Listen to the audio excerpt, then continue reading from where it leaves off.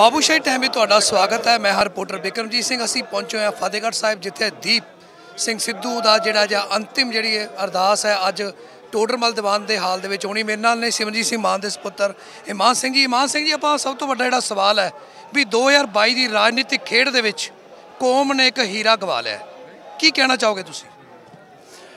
ਮੈਂ ਇਹ ਕਹਿਣਾ ਚਾਹੂੰਗਾ ਕਿ ਜਿਹੜੇ ਸਰਕਾਰਾਂ ਨੇ 1984 'ਚ ਸਿੱਖਾਂ ਨੂੰ ਮਰਵਾਤਾ ਉਸ ਤੋਂ ਬਾਅਦ ਸਾਡੇ ਉੱਤੇ ਸੁਮੇਧ ਸੈਣੀ ਤੇ ਅਜ਼ਾਰ ਆਲਮ ਤੇ ਕੇਪੀਐਸ ਗਿੱਲ ਦਾ ਜ਼ਬਰ, ਉਹਦਾ ਇਨਸਾਫ ਨਹੀਂ ਦਿੱਤਾ। ਚਿੱਟੀ ਸਿੰਘਪੁਰਾ 'ਚ ਸਿੱਖਾਂ ਨੂੰ ਮਾਰਿਆ। ਬਿਲ ਕਲਿੰਟਨ ਨੇ ਕਿਹਾ ਕਿ ਇਹ ਜਿਹੜੇ ਸਟੇਟ, ਭਾਰਤ ਸਟੇਟ ਨੇ ਸਿੱਖ ਮਰਵਾਏ ਆ ਮੈਨੂੰ ਅੱਜ ਵੀ ਸ਼ੱਕ ਹੈ। ਉਹ ਹਰਿਆਣਾ ਜਿਨੇ ਹੋਂਦ ਚਿੱਲੜ 'ਚ ਵੱਢ ਕੇ ਸੁੱਟਤਾ, ਦਿੱਲੀ ਦੇ ਬਾਰਡਰਾਂ ਤੇ ਸਿੱਖਾਂ ਨੂੰ ਵੱਢ ਕੇ ਸੁੱਟਦਾ, ਉਹ ਇਹਦੇ ਜਵਾਬ ਦੇ ਹੈ।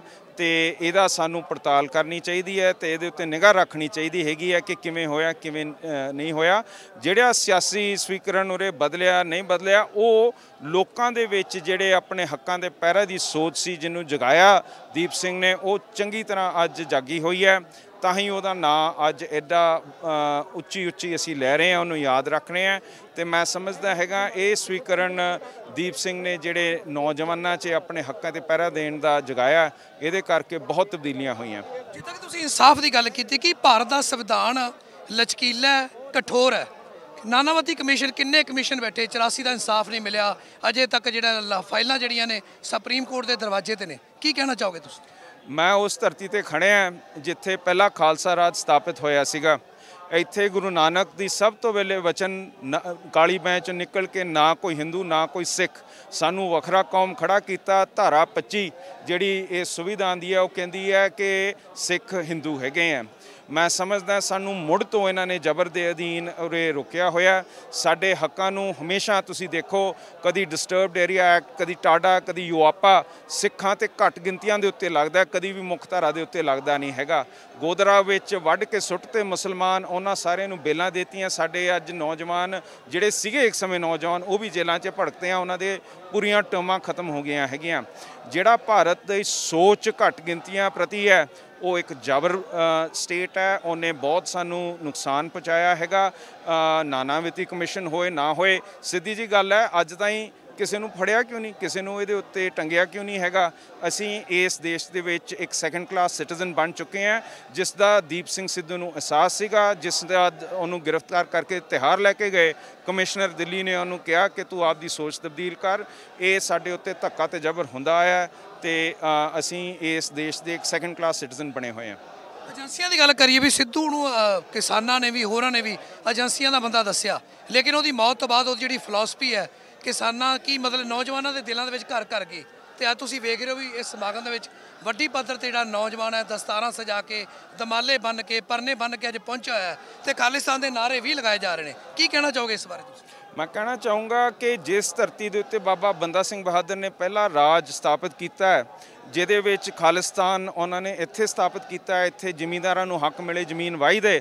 ਉਹ ਲਫ਼ਜ਼ ਕਦੀ ਮਾੜਾ ਨਹੀਂ ਹੋ ਸਕਦਾ, ਜਿਹੜਾ ਸੋਚ ਸਰਬੱਤ ਦੇ ਭਲੇ ਦੀ ਹੈ, ਜਿਹੜਾ ਜਾਤ ਪਾਤ ਨੂੰ ਖੰਡਨ ਕਰਦਾ, ਇੱਕ ਰੱਬ ਥੱਲੇ, ਇੱਕ ਹਰੇਕ ਬੰਦੇ ਨੂੰ ਖੜਾ ਕਰਦਾ ਉਸ ਖਾਲਿਸਤਾਨ ਦੀ ਸੋਚ ਦੇ ਉੱਤੇ ਜੇ ਦੀਪ ਸਿੰਘ ਸਿੱਧੂ ਨੇ ਪਹਿਰਾ ਦਿੱਤਾ ਤਾਂ ਮੈਂ ਸਮਝਦਾ ਕਿ ਉਹ ਆਪਣੇ ਇਤਿਹਾਸ ਨਾਲ, ਆਪਣੇ ਧਰਮ ਨਾਲ ਜੁੜ ਕੇ ਉਹਨੇ ਇੱਕ ਬਹੁਤ ਵੱਡੀ ਸਾਡੀ ਮਨੁੱਖਤਾ ਦੀ ਆਵਾਜ਼ ਉਠਾਈ ਹੈ, ਜਿਹੜੀ ਸਾਡੀ ਗੁਰੂਆਂ ਨੇ ਸ਼ੁਰੂ ਕੀਤੀ ਸੀਗੀ, ਭਗਤ ਭਗਤ ਰਵਿਦਾਸ ਜੀ ਨੇ, ਭਗਤ ਕਬੀਰ ਜੀ ਨੇ ਸ਼ੁਰੂ ਕੀਤੀ ਸੀਗੀ।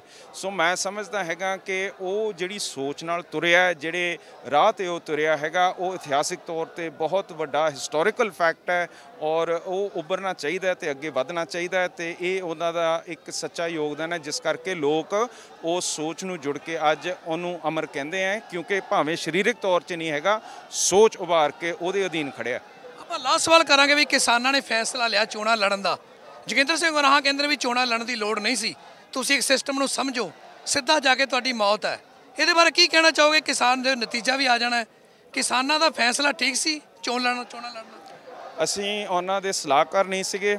ਅਸੀਂ ਸਿਰਫ ਤੇ ਸਿਰਫ ਜਿਹੜਾ ਆਮ ਸੰਗਤ ਨੇ ਯੋਗਦਾਨ ਪਾਇਆ ਸੀਗਾ, ਇਸ 'ਚ ਉਹਦੇ ਨਾਲ ਜੁੜੇ ਸੀਗੇ। ਜਿਹੜਾ ਯੂਨੀਅਨ ਕਰਨਾਲ ਖੜ ਗਈ ਸੀਗੀ, ਅੱਗੇ ਸੰਗਤ ਨੇ ਤੋਰਿਆ। ਉਹ ਅੱਜ ਚੋਣਾਂ 'ਚ ਖੜੀ ਹੈ। ਇਹਦੇ ਵਿੱਚ ਸੰਗਤ ਉਹਨਾਂ ਨੂੰ ਧੱਕ ਕੇ ਅੱਗੇ ਲੈ ਕੇ ਜਾਂਦੀ ਹੈ, ਨਹੀਂ ਲੈ ਕੇ ਜਾਂਦੀ, ਜਿਵੇਂ ਤੁਸੀਂ ਕਿਹਾ, ਨਤੀਜੇ ਦੱਸਣਗੇ। ਪਰ ਅਸੀਂ ਇਹਦੇ ਵਿੱਚ ਕੋਈ ਹਿੱਸਾ ਨਹੀਂ ਸੀਗੇ ਤੇ ਨਾ ਅਸੀਂ ਇਹਨਾਂ ਨੂੰ ਇਹ ਸਲਾਹ ਦਿੱਤੀ ਸੀ, ਇਹਨਾਂ ਦੀ ਆਪਣੀ ਮਨ ਮਰਜ਼ੀ ਸੀਗੀ। ਅਸੀਂ ਆਪਣੀ ਸੋਚ ਤੇ ਅਸੀਂ ਹਮੇਸ਼ਾ ਜਮਹੂਰੀਅਤ ਪਸੰਦ ਤੇ ਅਮਨ ਪਸੰਦ ਤਰੀਕੇ ਨਾਲ ਚੋਣਾਂ 'ਚ ਖੜਦੇ ਹਾਂ, ਅਸੀਂ ਆਪਣੀ ਗੱਲ ਕਰ ਸਕਦੇ ਹਾਂ। ਇਹਨਾਂ ਦੇ ਕੀ ਫੈਸਲੇ ਸੀ, ਕੀ ਨਤੀਜੇ, ਉਹ ਸੰਗਤ ਦੇ ਹੱਥ। ਜੀ ਇਹ ਸਲੀਮਾਨ ਸਿੰਘ ਜੀ ਉਹਨਾਂ ਨੇ ਕਿਹਾ ਵੀ ਸਿੱਧੂ ਇੱਕ ਹੀਰਾ ਸੀ, ਹੀਰਾ ਜਿਹੜਾ ਹੈਗਾ, ਉਹ ਗਵਾ ਲਿਆ ਤੇ ਅੱਜ ਜੋ ਵਿਚਾਰਧਾਰਾ ਉਸਨੇ ਦਿੱਤੀ ਸੀ, ਜੋ ਫਿਲਾਸਫੀ ਸਿੱਧੂ ਨੇ ਦਿੱਤੀ ਸੀ, ਅੱਜ ਨੌਜਵਾਨਾਂ ਨੂੰ ਉਸ ਫਿਲਾਸਫੀ ਤੇ ਪਹਿਰਾ ਦੇਣ ਦੀ ਲੋੜ ਹੈ, ਕਿਉਂਕਿ ਪੰਜਾਬੀਅਤ ਤੇ ਹਮੇਸ਼ਾ ਪਹਿਲਾਂ ਹੀ ਹਮਲੇ ਹੁੰਦੇ ਆਏ ਨੇ, ਜਿਵੇਂ ਕਿਹਾ ਜਾਂਦਾ ਵੀ ਪੰਜਾਬ ਜੰਮਿਆਂ ਨੂੰ ਨਿਤ ਮਹਿਮਾ। ਬਿਕਰਮਜੀਤ ਸਿੰਘ ਦੀ ਵਿਸ਼ੇਸ਼ ਰਿਪੋਰਟ ਫਤਿਹਗੜ੍ਹ ਸਾਹਿਬ ਤੋਂ।